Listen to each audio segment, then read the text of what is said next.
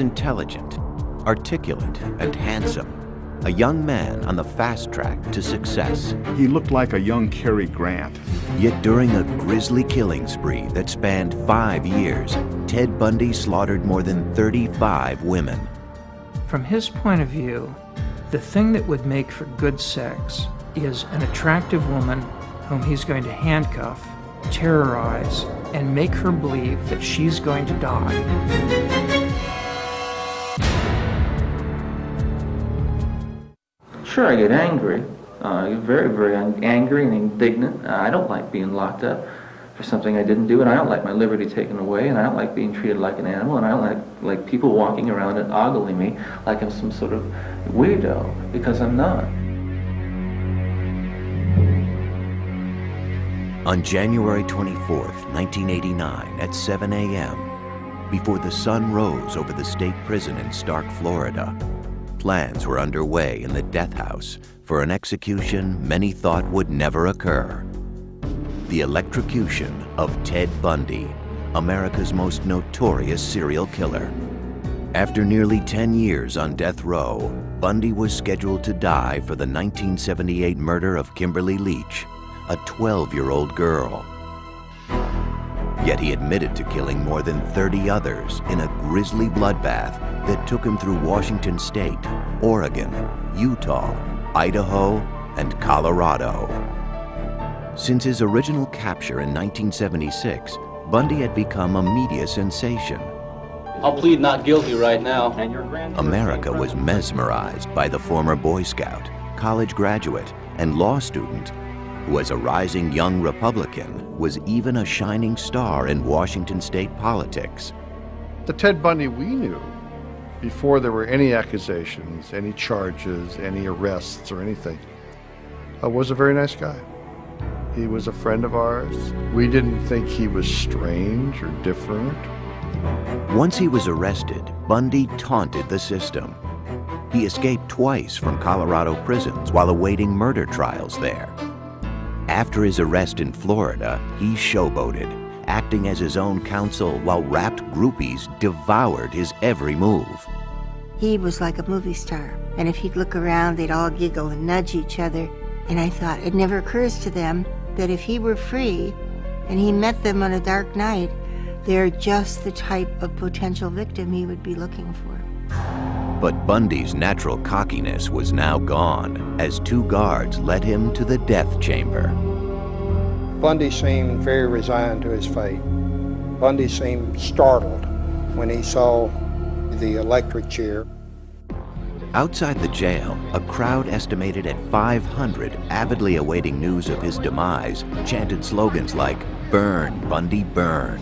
They ran electricity through his four, At 7.16 a.m., an anonymous executioner pushed the button. 2,000 volts surged through Bundy's body. Within 60 seconds, one of the worst serial killers of all time was pronounced dead. When we came out after the, the execution, almost a carnival atmosphere on the part of some of these people. Cheering, uh, blowing of horns, uh, celebration. He'd had an easier death than any of his victims. Some 35 women may have fallen prey to him. Only he knew the real number. And he carried that with him to his grave. Police believe Bundy's killing spree had begun in 1974 when he was 28 years old, studying law and living adjacent to the University of Washington in Seattle. Made a very, very positive impression. Uh, he was, uh, he was very verbal, articulate, intelligent. I guess if I were to characterize him, he looked like a young Cary Grant. But at that time, no one could guess that this clean-cut and good-looking young man was about to begin a series of rapes, tortures, murders, and dismemberments that would shock the world.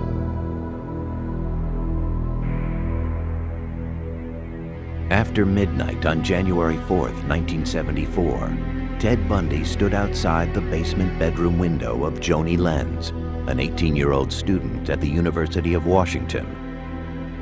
he entered her bedroom through a door accessible from outside, and while she slept, he savagely bludgeoned her with a crowbar. The next morning, Joni was found surrounded by a pool of blood. A bed rod had been torn away from her headboard, and in a sexual frenzy, rammed into her vagina. There was a specific reason why Bundy singled out Joni. It was a physical characteristic she shared with almost all of his victims. She wore her hair long and parted in the middle, but it would take years before the police understood why that moved Bundy to murder. Linda Ann Healy was a senior at the University of Washington, majoring in psychology. On January 31, 1974, after Linda had gone to bed, Bundy broke into her room. He knocked her unconscious, wrapped her in bed sheets, and quietly carried Linda out of the house.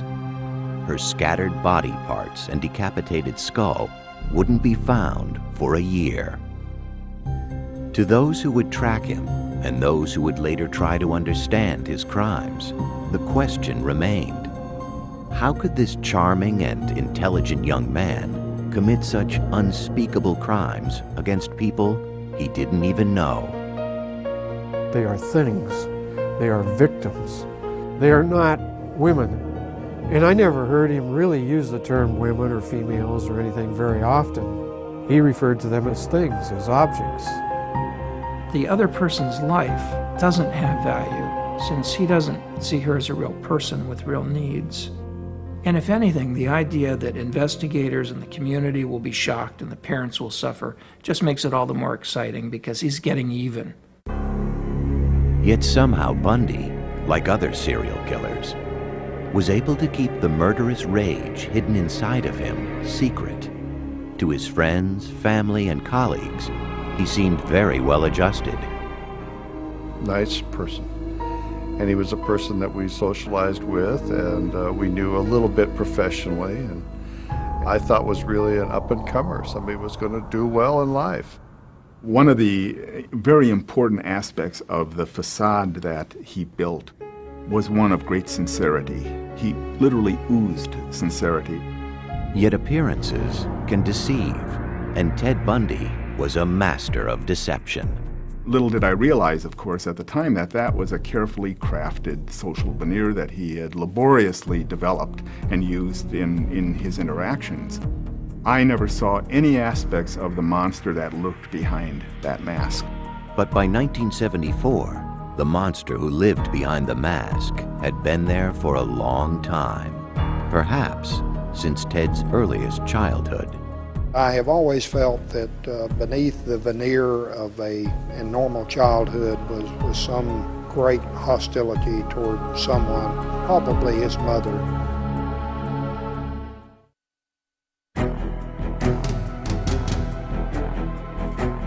Police believe that in 1974, Ted Bundy embarked upon a series of grisly murders that began in Seattle, Washington, and over a period of five years spread through Oregon, Utah, Idaho, Colorado, and Florida.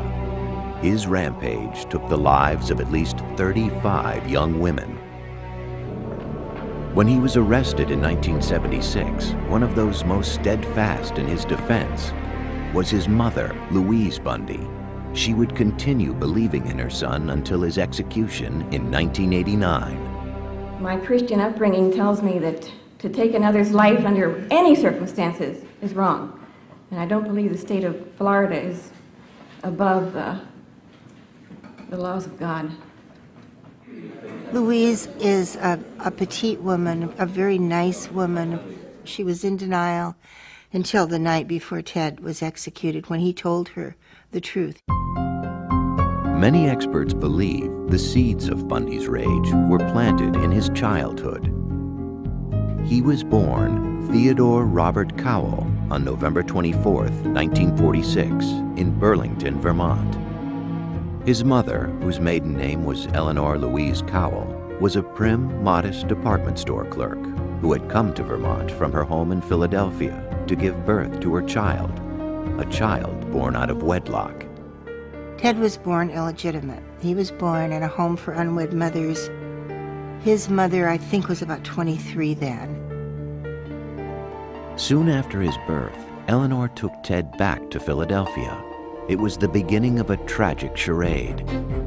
As he grew, Ted was told that his grandparents were his mother and father, and that Eleanor was his older sister. From an early age, Ted sensed he was living a lie. And there were other problems at home. Eleanor's mother had a history of clinical depression, suffered panic attacks, and was eventually treated with electroshock therapy. Her father, Samuel Cowell, was known to be an extremely violent and frightening individual. Sam Cowell was evidently a man with maniacal temper who read pornography, who tossed his daughters down the stairs if they slept too late. As he grew into a young man, the confusion over his relationship with his mother would weigh on Ted. Even at the age of three, there were signs that he was not a well adjusted child. His teenage aunt was taking a nap, and she woke up to see that he had taken all the knives out of the kitchen drawer and arranged them around her body with the blades pointing toward her. His mother, concerned with this behavior and trying to escape the control of her father, moved with Ted to live near her uncle Jack Cowell and his family in Tacoma, Washington. In later years, Ted said that it was devastating for him to leave Sam, the man he thought of as his father. In Tacoma, Eleanor went by her middle name Louise and worked as a secretary at the Council of Churches. One evening, she met a hospital cook named John Culpepper Bundy. Louise married him a year later, and her son finally had the name he would carry through life Theodore Robert Bundy. But Ted was never close to John. He had a lot of conflict with his stepfather, uh, looked down upon his stepfather because his stepfather didn't have a high enough station in life. Despite his new name, Ted still considered himself a Cowell and was drawn to his great uncle Jack, a cultured music professor at the University of Puget Sound in Washington. Ted wanted to be just like him. It was very important for him to be someone special, to be recognized in some way. Over the next 10 years, John and Louise added two brothers and two sisters to the Bundy family. But Ted had little to do with them or their father. He had a Boy Scout troop, but Ted would never go camping. He just seemed to remove himself from any connection to his stepfather. And if there was no connection at home, there was even less at school. His junior and high school friends described Ted as very shy. He suffered from stuttering, and he did not date at all. He really didn't date unless it was a Sadie Hawkins dance where the girls asked him. But there was a secret side to Ted Bundy that was already emerging. He considered himself above the law. By the time he was 15, he had become an expert shoplifter and was a suspect in two burglaries. Grandiose narcissism, the ability to outwit the police, the ability to you know, flaunt authority, the, the ability to shoplift. All of these things uh, helped confer on him this sort of narcissistic uh, sense of specialness and entitlement. His relationship with women also changed for the worse. He became a peeping Tom, sneaking through the night to peer into the windows of young girls. More significantly, there have always been suspicions that at the age of 15, Ted Bundy became a killer. Ted carried the morning newspaper when he was 15. Along his route, there was a young girl named Anne Marie Burr. Anne Marie was eight. Ted knew Anne Marie. She took piano lessons from his great uncle Jack. On August 31st, 1961, Anne Marie's parents found her missing from her bedroom. The window was open a little bit, and it was in the days when you had a TV cable on the roof and you had to get it under the window, so they couldn't lock it. The front door was ajar. She was gone. A search that at one time involved 800 soldiers, lawmen, and volunteers found nothing. At the time, no one suspected that Ted may have been responsible for Anne Marie's death. In my mind, she was Ted's first victim. And there would be many more. In the mid 1960s, Ted Bundy was a student at Woodrow Wilson High School in Tacoma, Washington. Even though he was smart, good looking, and friendly, he was awkward with his fellow students, especially the girls. There seemed to be a real defect in this whole notion of how do you build a close, intimate relationship, and some confusion about that. The arena in which he seemed to feel secure was the school and the classroom where he could use his verbal skills, and that's where he tried to manage uh, teachers' impressions. He graduated from high school in 1965 with a B average. The next year, he entered the University of Puget Sound. But on the huge campus, he felt anonymous and lost. Inside, Ted was very empty and very inadequate. But he, he could put on the facade of a very sophisticated, educated young man. In 1967, as part of the facade, Ted transferred to the University of Washington's Asian Studies program, where he studied Chinese. He also began fabricating a new personality. If the old Ted was shy and withdrawn, the new Ted would be witty, cool, and self assured. His deception was about to pay off. At the university, Ted met Stephanie Brooks. He was particularly attracted to her beautiful shoulder length hair, which she wore parted in the middle. She was wealthy, sophisticated, and worldly. Everything Ted wished he was. He said, She's perfect, she's beautiful, she's wealthy. And I think to the degree he was capable, he was in love with her. They stayed together for a year. For the first time, Ted experienced an intimate sexual relationship with a woman. He was in love with her. But to Stephanie, they were merely college sweethearts. She saw no future in the relationship. She thought Ted was immature. Ted had become obsessed with her, but Stephanie told Ted their romance was over. She told him that he wasn't going anywhere, that uh, he had no ambition, he wasn't organized, he couldn't um, make plans. Ted was devastated.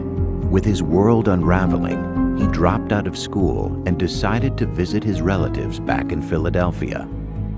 His visit had a purpose. He had to answer the question that had always bothered him Who was he? After checking records in Philadelphia, he traveled to Burlington, Vermont. There in City Hall, he learned something he had always suspected. He discovered that his mother was actually the woman who'd been passing as his sister his whole life. And that has got to rock the world of anybody to find that their roots are not what they thought. There was a great deal of turmoil around his own self identity and who he was. By all accounts, when he found out that he was an illegitimate child, it was devastating. This man was badly betrayed by a woman, his mother, and learned of that betrayal at the very period when he's still reeling from the rejection by his girlfriend, his first love. Many who have studied Ted Bundy feel it was now that he decided to take revenge on the women he felt had destroyed his life. With an icy resolve, he returned to the University of Washington, took a room nearby, and began studying psychology. He excelled in all his classes and seemed rejuvenated with a new purpose. And whatever demons raged inside of him, Ted Bundy kept them well hidden. Many people like him have an ability to create compartments in their lives. And this entity, this demon, this depraved monster lived in one of those compartments. As far as anyone knew, Ted's life seemed to be changing for the better. In 1969, he met Elizabeth Kendall, a young divorcee. They began a friendship and then a romance. Very smart, shy young woman. Uh, she came up here from Utah. They met in a, in a tavern. She loved him. She loved him unabashedly. His relationship with Elizabeth seemed to work wonders for him, but underneath, he was seething and plotting revenge. If you really have a very negative core in yourself, there's this kind of envy, a need to destroy the beauty in others. And the first one on his list was Stephanie Brooks. He was secretly still talking to Stephanie, hoping to make her fall in love with him again, in order to hurt her, just as she had scarred him. To enhance his image, he became active in local politics, working on the governor's reelection campaign. I thought he was very smart, good at politics. He was good at what he did. He, he was friendly. In 1971, at the age of 25, Bundy was working in his spare time at the Seattle Crisis Center, manning the suicide hotline phones. Beside him worked soon to be author Ann Rule. He was kind, he was uh, very good on the phone, and ironically, we saved lives together. Now, at that point, if anybody had told me that there was anything underneath this perfect surface, I would have said you're crazy. Because we were locked up all alone together in a four story Victorian mansion that looked like nothing so much as the house in Psycho. Um, but I felt safe locked inside with Ted Bundy. By 1972, Ted's first real girlfriend, Stephanie, still inhabited his thoughts and his plans. On a business trip to San Francisco, he met with her, and the new Ted Bundy swept her off her feet. And she fell madly in love with him and agreed to marry him. As soon as she agreed to marry him, he dumped her. Two days later, on January 4th, 1974, Ted Bundy began a five year rampage of killing that would horrify the nation. Most of his 35 victims had one thing in common. His ideal victim was a small framed female, long hair, parted in the middle, style of person, usually pretty good looking. They all resembled Stephanie Brooks.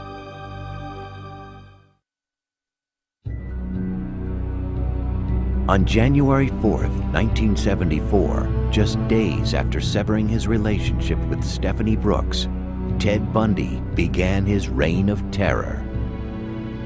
Over the next six months, eight women disappeared from college campuses in Washington, Oregon, and Utah. I think he was looking for victims 24 hours a day. There were people that he specifically was scoping out, acting like a predator towards, and then there were those that were just happened to be at a, the right place at the right time for him. His first two victims were students at the University of Washington. People like to believe that it was someone from outside. There must be some depraved killer out there in the community who is coming to the campus. Little did we know that the killer was one of us. Even his girlfriend, Elizabeth Kendall, had no idea who Ted really was. From February through June 1st, Carol Valenzuela, Nancy Wilcox, Donna Manson, Susan Rancourt, Brenda Ball, and Roberta Parks all vanished. Nobody had connected any of these cases together. Different police jurisdictions, different states.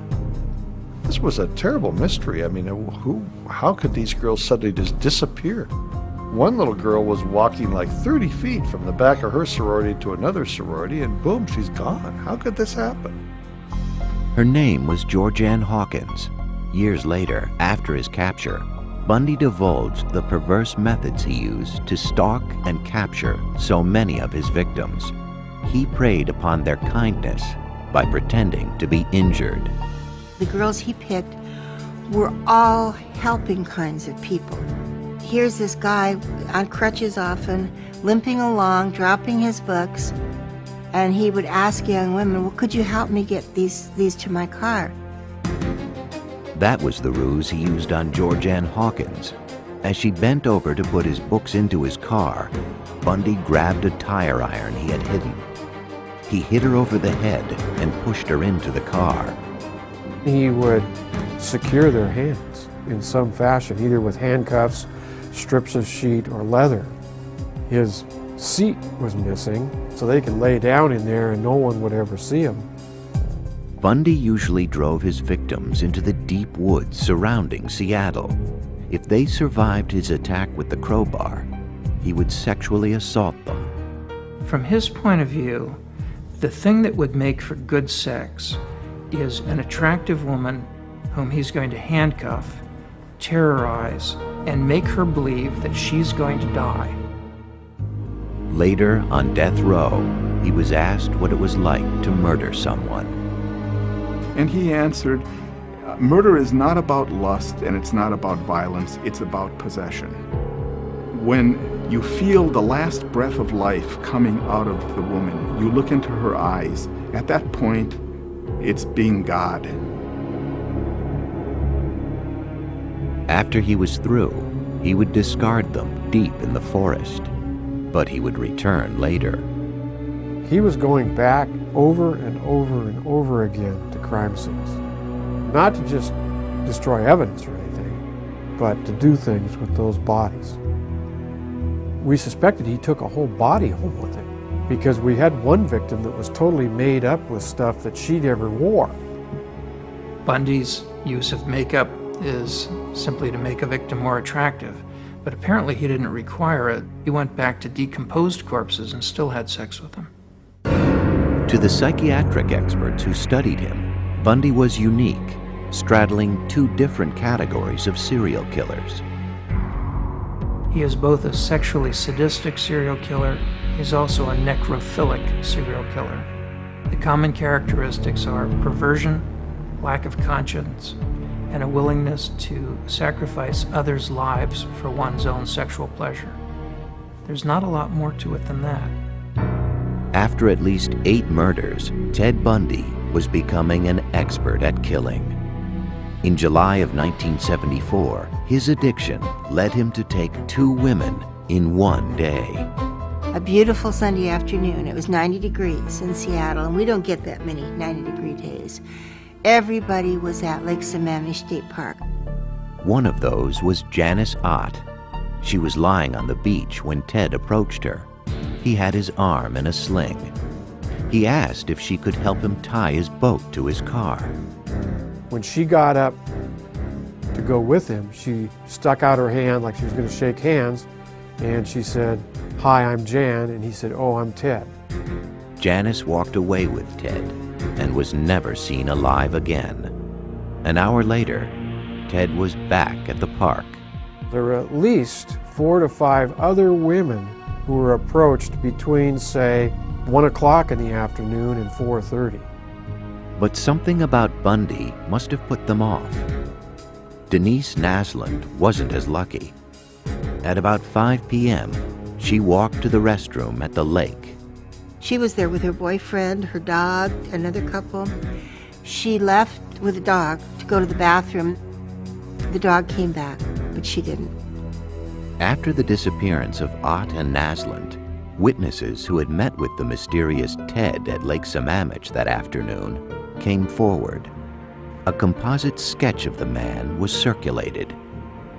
The police received 3,500 tips and compiled a list of potential suspects named Ted. Bundy's name was among them. The name Ted was brought up. I never made the connect at all. You only met the monster through his acts. Between 1973 and 1974, the monster had been working for the King County Law and Justice Planning Office, where he was preparing a study on rapists and their victims. He was also secretly studying the procedures the police were using to try and catch him. By October 1974, five more bodies had been found, but most of them had decomposed or were just scattered bones. Bundy had left no clues, and he was long gone. Two months earlier, he had been accepted to the Utah University School of Law, but he could not stop himself from killing. The Ted Bundy that we knew was not a murderer, but maybe an hour later he was. That's the awful part. Though his outward mask still projected charm and sincerity, the killer underneath it was about to be revealed. Bundy would soon be identified when one of his victims escaped.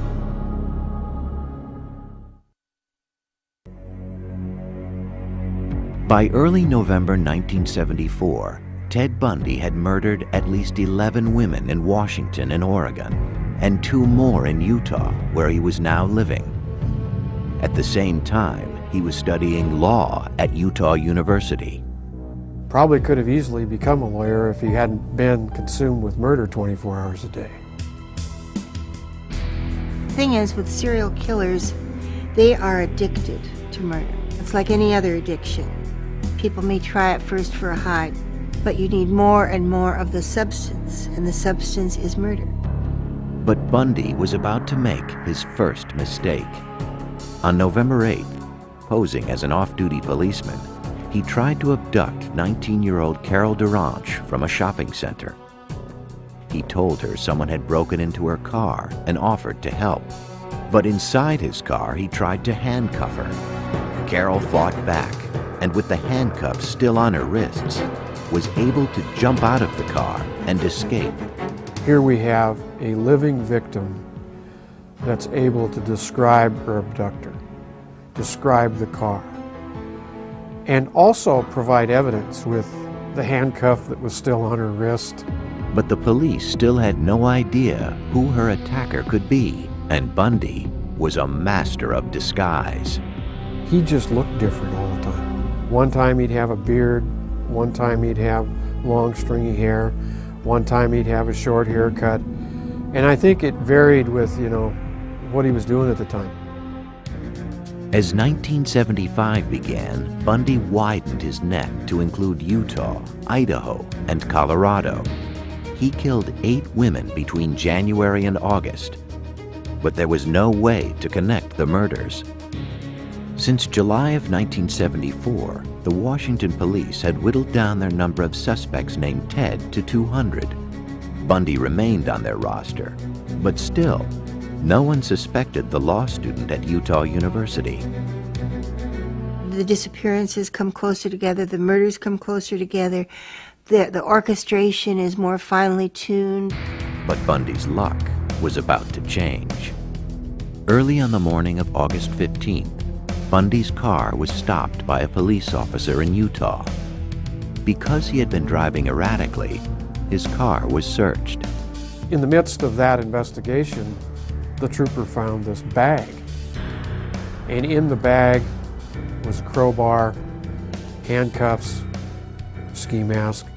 So he carried his own chamber of horrors around with him. Bundy was immediately arrested on suspicion of burglary. They also found gas receipts and maps that later linked Bundy to the sites of the abductions in Colorado. And more importantly, in a police lineup, Carol DaRonch identified Bundy as the man who had attacked her. We were shocked. We couldn't believe it. Uh, we tried to raise money for a defense fund for him and, and tried to protect him. We couldn't believe it. They had to have the wrong guy. On February 23, 1976, Bundy went on trial for her attempted kidnapping. As the trial began, Bundy sat in the courtroom, totally convinced that he would be found innocent. But on the stand, Carol DaRonch told of her ordeal at his hands and pointed Bundy out as her assailant. He was found guilty and sentenced to 15 years in prison.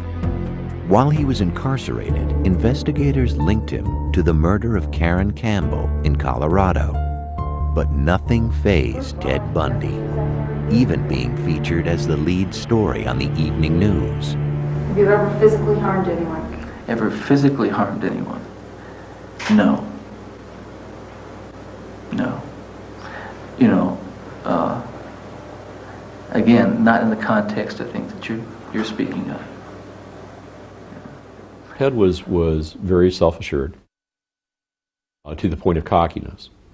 Uh, even, even when the murder charges had been filed. In April of 1977, he was transferred to Colorado to await trial. There, Bundy fired his lawyers and was granted permission to defend himself in the upcoming case. Bundy had supreme confidence in his uh, intellect, in his ability to beat the system, to work the system. Even if it meant avoiding trial completely.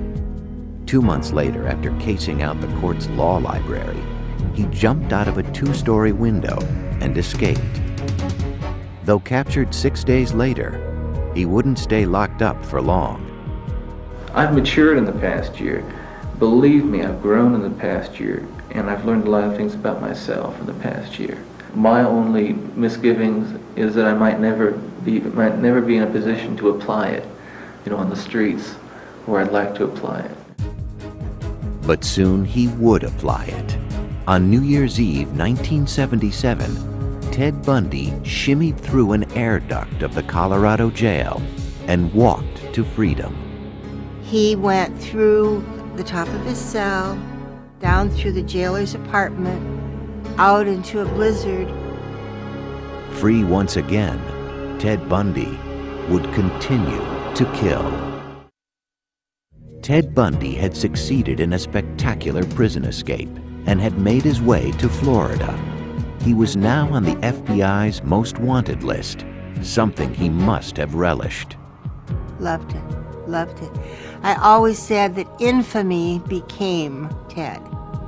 He changed his name, grew a beard, and spent his time walking the Florida State University campus in Tallahassee. I think it was about January 8th when he rolled into town, determined, as he said in his confession, uh, never to so much as jaywalk. But he wouldn't keep that resolution. Sometime after midnight on January 15, 1978, just two weeks after his escape, Bundy entered the back door of the university's Chi Omega sorority house. As his victims slept, Ted Bundy crept from room to room. He bludgeoned, raped, and killed Lisa Levy and Margaret Bowman. He assaulted and almost killed roommates Karen Chandler and Kathy Kleiner. I think he went in that house to kill every single woman in it. But Bundy wasn't finished. Less than a mile away, he broke into the apartment of Cheryl Thomas. Though he savagely beat her and left her to die, she survived. She was the fifth woman Bundy had attacked that night. It's not something that's causing him guilt because he's free of that. He feels justified and entitled. After what women did to him, why shouldn't he do this to women? Three weeks later, he would kill again. His victim was 12 year old Kimberly Leach, an attractive and popular junior high school student. Kimberly was kidnapped, brutally assaulted, and killed. On February 15, 1978, a patrolman pulled over a VW bug that had been reported stolen. Ted tried to flee on him on foot. There was a struggle, there was actually a round fired, uh, and the, the officer was able to bring Ted into custody. Bundy was arrested and identified. Over the following months, investigators in Florida gathered evidence that tied Bundy to Kimberly Leach's murder and the murders and assaults at the sorority house. Though other states sought to extradite Bundy, his first trial would begin in Florida on July 7, 1979. You're going to represent yourself or you're going to get another attorney? I'm staying with the man I know best right now, and that's me. Bundy acted as his own defense attorney in the Chi Omega murders. He took depositions of witnesses. He filed his own motions, and I responded to those strictly on a professional basis. But at one point, as he questioned an officer about one of the murder scenes, the jurors had a terrifying view of the real Ted Bundy. He walked toward the jury, and you could see them kind of lean back in their chairs as he approached them.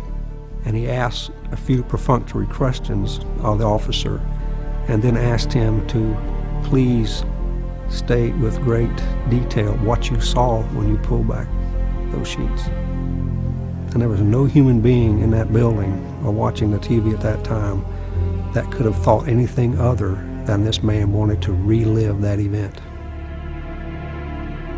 Two weeks later, Bundy was found guilty and sentenced to death for the murders of Lisa Levy and Margaret Bowman. In January 1980, Bundy went on trial for the murder of Kimberly Leach. Again, he was found guilty and sentenced to death. But his execution would not take place for some time. Over the next nine years, Bundy would appeal his convictions and cheat death by a series of last minute stays sometimes only minutes before his sentence was to be carried out. Finally, after countless appeals, Bundy's date of execution was scheduled for January of 1989. To postpone his death, he told authorities that he would provide information on other unsolved cases linked to him. He gives them just enough information to get their interest, to show them that he does, in fact, know what he's talking about. And then Bundy systematically tells these investigators, you need to get with your authorities and have them contact the Florida authorities because I need more time to tell you this. This is all I can tell you today. And I need more time. If you can just uh, get the, the, the Florida authorities to agree to more time, I can provide you with all of the details. It was a desperate ploy. Uh, it was a last ditch effort, but even there, I think Bundy up until the morning of his execution, Bundy really thought that uh, he could postpone the inevitable. But he couldn't. On January 24, 1989, at the age of 41, Ted Bundy, the articulate, handsome boy next door, a man who had the capability of being virtually anything he wanted, but who instead chose to become a monster obsessed with murder, was executed in the electric chair. The real question isn't how to remember Ted Bundy. The question is how to remember all those girls. You know, right at the prime of their lives. You know, these all these kids were 19, 20 years old. They had the world by the tail. They had the future. And uh, how many families were left in just total tragedy and disarray? And unfortunately, uh, we remember Ted Bundy, and, and I'd much rather remember those girls.